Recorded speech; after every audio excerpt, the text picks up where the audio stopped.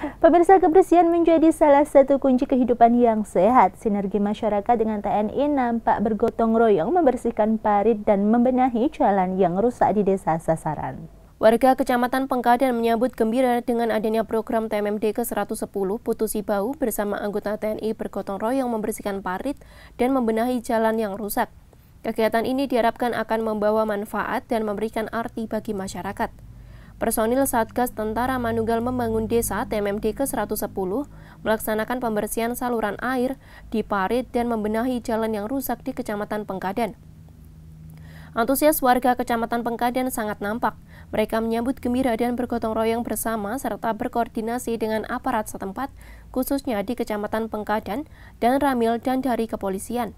Pada program TMMD kali ini, kegiatan yang melibatkan sejumlah prajurit yang tergabung dalam Satgas TMMD ke-110 sangat membantu masyarakat di Kecamatan Pengkadan. Tentu tak hanya program fisik, tetapi juga program non-fisik menjadi prioritas dalam program TMMD. Salah satu kegiatan pembersihan lingkungan khususnya saluran air di Parit bertujuan untuk antisipasi tersumbatnya air agar tidak menimbulkan bau atau penyakit bagi warga setempat. Leda Infanteri Eko dari Kesatuan Yonif Rider Khusus 644 Walet Sakti sebagai Danki SSK TMMD 110 yang diselenggarakan oleh Kodim 1206 Putusi Bau berharap kegiatan ini akan membawa manfaat dan memberikan arti bagi masyarakat dan sebagai kenang-kenangan bagi masyarakat selain menumbuhkan rasa kebersamaan dan gotong royong antara TNI dan masyarakat. Selamat siang, di sini saya memperkenalkan diri nama Letnan 2 Infanteri Eko Satuan Asal Yoni Rider Kursus 644 Walet Sakti. Jabatan di TMMD ini saya sebagai Danki SSK TMMD 110 yang diselenggarakan oleh Kodim 1206 Putusibo.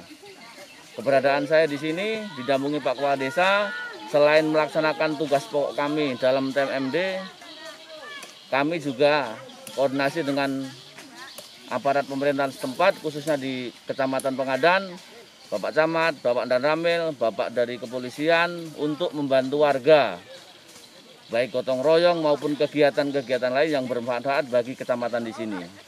Jadi kami tidak akan menyanyiakan waktu keberadaan kami supaya bisa dimanfaatkan secara optimal oleh masyarakat khususnya Kecamatan Pengadan sehingga dapat ya memberikan sedikit kenang-kenangan atau kemajuan bagi perkembangan khususnya di kecamatan ini terutama masalah kebersihan, parit dan sebagainya. Demikian yang dapat kami sampaikan. Terima kasih. Selamat siang.